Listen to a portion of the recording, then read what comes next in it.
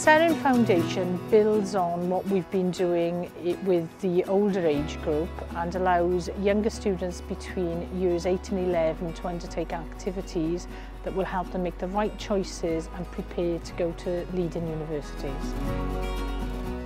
We thought it would be a great idea to get uh, the young people from across the secondary schools in Cardiff to mix together. Mm. We worked with Storey Arms to create a course and we've now got two young people from each high school in Cardiff attending the three-day course here.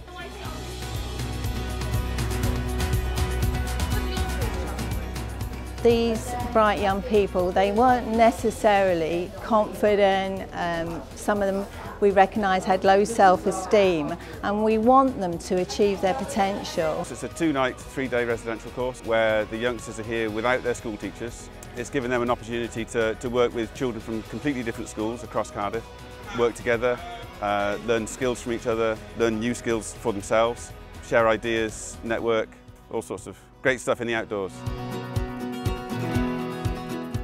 By putting them into this network of different people from different schools, we're pushing the comfort zones just enough to hopefully not tip them over the edge, but just to increase their confidence and self-belief.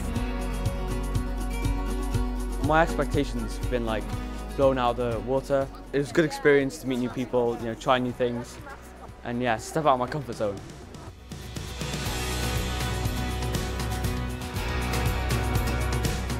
The, the sooner we get young people really motivated to do the best they can and to go to the best universities, it can only be for the better.